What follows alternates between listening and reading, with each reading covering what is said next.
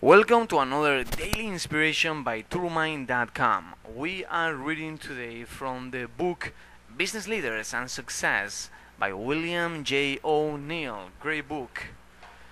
In introduction, quote Successful people in all fields share a similar qualities that move them to the top desire, determination, and drive, for instance.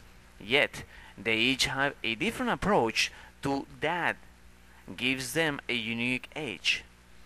One characteristic you will discover that all great leaders have in common is a positive attitude that gives them daily inspiration to meet challenges and overcome unforeseen obstacles. They don't get mired down in what went wrong. Great leaders choose to take the most positive approach to what many people would perceive as a huge problem. They fix it, work around it, or figure out how to turn the problem into a solution. When AP Giannini Bank burned down after the San Francisco earthquake and fire of 1906, he immediately set up a card table on the corner and loaned money, when no one else would, to merchants who all lost their businesses and had no collateral after the disaster. That's how Bank of America began. And do you know how who founded Home Depot? Two friends who had just been fired from another hardware chain. They turned the negative experience into a positive one by putting their vision in on all on one giant hardware store into action. Disneyland was also born out of negative set of circumstances. Walt Disney Walt Disney's wife, brother, and business partner all refused to invest any money in, Walt, in Walt's new idea to create a theme park dedicated to fun and happiness. Did he let all these naysayers hold him back? Of course not.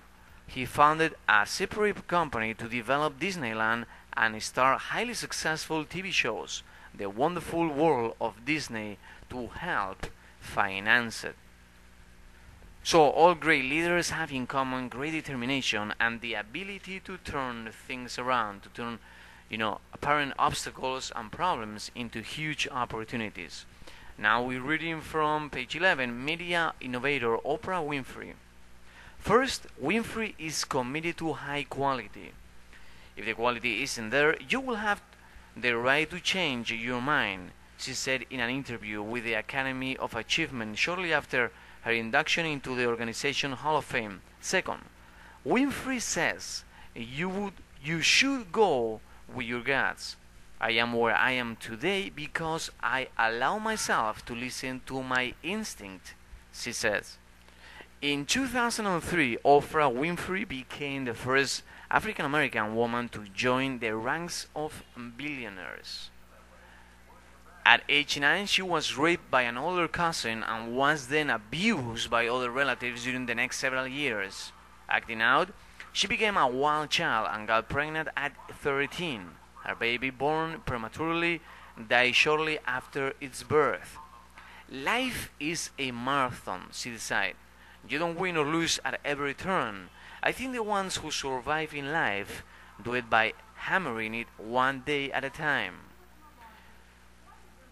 She said in Janet Lowe's book, Oprah Winfrey Speaks, her mother sent her to her father, who was a barber and a businessman in Nashville, Tennessee. There, she focused on self improvement. Vernon Winfrey realized his daughter needed some inspiration. He told her how good she could be and encouraged her lifelong love of books. He also taught her that to succeed, she always had to pursue excellence. When Vernon set a goal, he focused totally on its achievement. To make sure he would get there, he would put in longer hours than anyone else and always try to do his best. He refused to undercut himself by thinking about failure. He started to absorb that attitude. There is no such thing as failure in life, Oprah said. I just don't believe in it. Vernon also taught her to reject fear.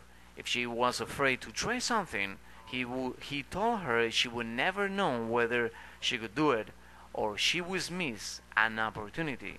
The true test of courage, Oprah said, is to be afraid and to go ahead and do it anyway.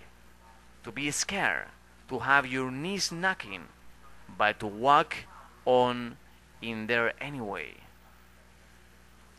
Again, the, the true test of courage, Oprah said, is to be afraid and to go ahead and do it anyway. To be scared, to have your knees knocking, but to walk on in there anyway. I don't believe in I don't believe in luck, she said. I think luck is preparation meeting opportunity. I think the ability to be as good as you can be comes from understanding who you are and what you can and cannot do, she said. And what you cannot do is far more important than what you can do if what you cannot do is going to keep you from flying high. When she hires people, Winfrey looks for people who can do what she can't. I surround myself with people who are smarter than I, am, she said. That way I feel I can learn something. Very interesting. This is from the book again from Business Leaders and Success by William J. O'Neill, founder of the Investor Business Daily. Excellent, excellent book. This very story, very interesting story on Oprah, her determination and the ability to be the best that she could be. This has been another daily inspiration by TurboMind.com. You can go to TurboMind.com or subscribe to this podcast by at YouTube.com. Have an excellent and prosperous day.